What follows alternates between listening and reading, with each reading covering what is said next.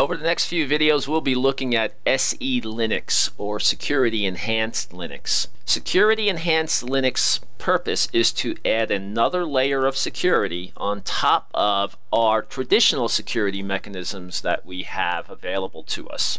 Security Enhanced Linux was developed uh, by the NSA along with the help of other vendors, and it is enabled by default on all Red Hat based operating systems. It's available for most other operating systems. You can install it. There are other pieces of software that uh, you can use instead of Security Enhanced Linux. AppArmor is a very popular one. But because we're focused on Red Hat and Red Hat is the major install base in the US, we're going to look at Security Enhanced Linux.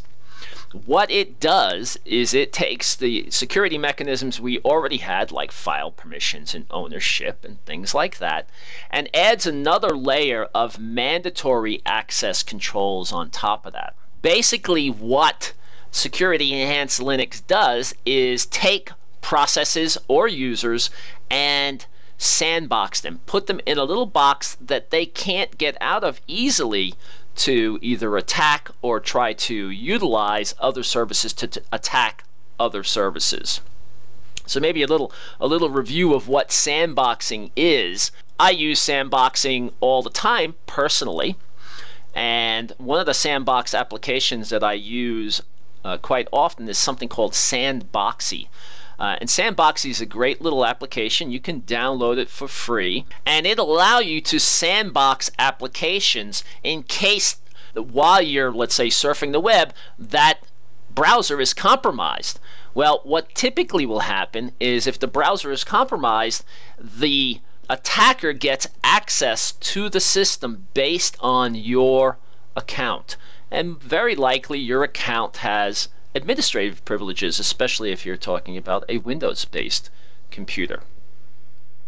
And that can cause a problem. If you look at the diagram that we have here, this top little animation that we have going here in the top on the right hand side, you see Internet Explorer or Firefox in a compromised state and it shows you what happens if that is compromised. Basically, the service has access to everything on the system. Let me just see if I get my my drawing tool up here. I'll come back to that in a second. So up here, you're looking at a system that has not been sandboxed, but the browser has been compromised, and that allows the attacker to get access to all the resources, or enough resources maybe to it to continue the attack and escalate the attack. On the bottom, what you see is what happens when some, the browser is sandboxed or any application is sandboxed. You'll notice the little yellow square in the middle of the screen. I'll stop this and let the animation go.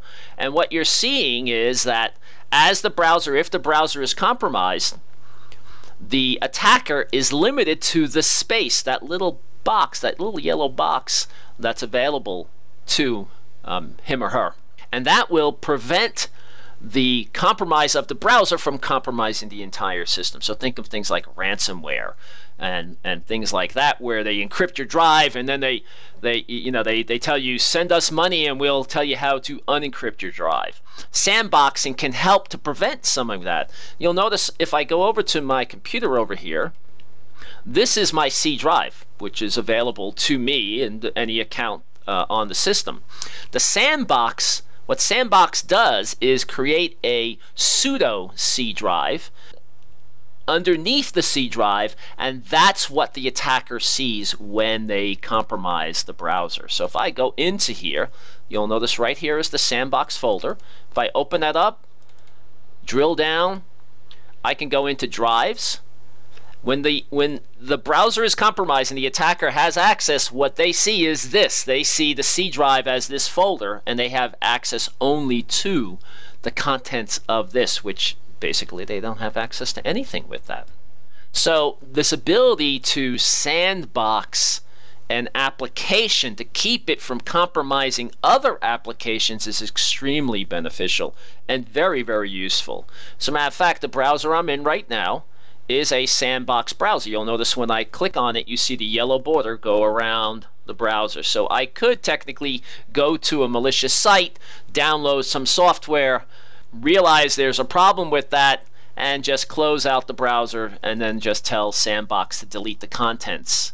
So if I close this out, I can go down here to the control center for Sandbox, go there, and I can tell Sandbox to delete the contents of that box without my system being compromised. As a matter of fact, I am on a virtual machine and the virtual machines are very much like Sandbox. This operating system has been Sandbox for all intents and purposes.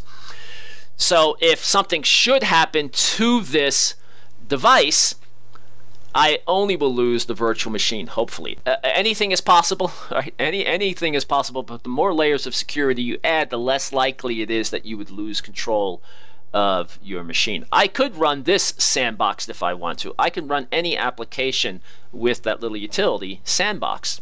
Well, SE Linux does something very similar to that with processes on our Linux system.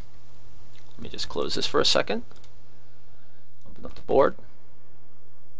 So two things we need to talk about when it comes to SE Linux and what it adds. By default, we have something called discretionary access controls. Discretionary access controls are things like file permission, ownership, file configurations, you know, you can do this, you can't do that. All those are levels of security that we have available to us. SE Linux adds a whole new level of security called mandatory access controls. An analogy, I, you know, I tried to come up with an analogy that would uh, real world way of looking at this, and what I came up with was um, corporate policies. So let's just say on the right hand side, we have a corporation that has a set of corporate policies that are in effect on uh, for all employees of the corporation. And one of the policies state that you can have you can put in a request for a raise and that has to be submitted by January 1st of the year. Over here on the other side, what we have is our user, and our user is one of the outstanding salespeople on the team, if you will. And they've heard about this ability to get a raise. They just need to fill out a form, get some references, you know, uh, include their evaluations, and submit that, and everything will be great. And this user, because they're so fantastic, will definitely get the raise.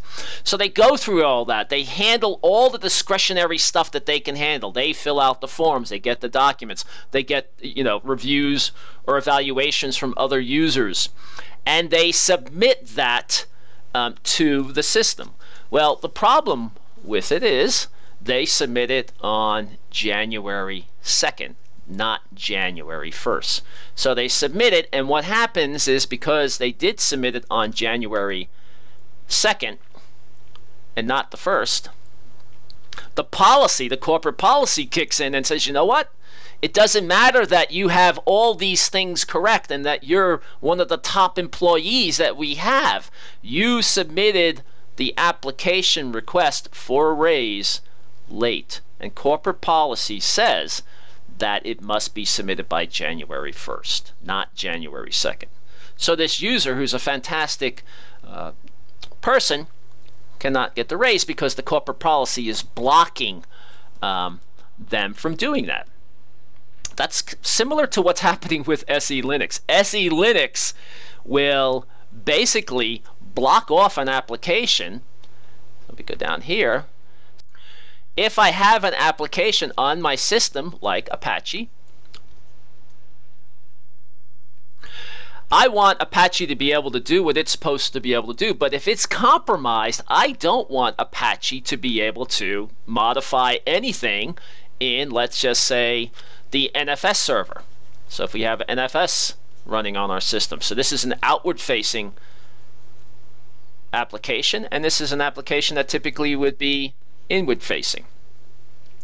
Well, without SE Linux, there's a chance that the Apache compromise will then lead to a compromise of the NFS utility or application or service. And then it can just escalate from there.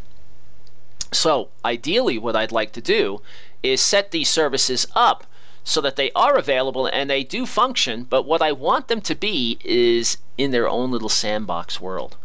I don't want these applications to be able to communicate back and forth because that's not necessary. They shouldn't be able to communicate back and forth for them to be able to work correctly. So SE Linux will help me by creating these sandboxes. They actually call these domains. So domains, the domains, very similar to the sandbox in a concept, prevent these two services, if I choose to, from being able to communicate. So therefore, if the Apache service is compromised over here, it's not going to be able to easily affect any of the other services on my system. So what we'll look at next is actually we'll go in and look at some of the basics of how we can enable, disable, and change context and some of the basic commands that we use with SE Linux.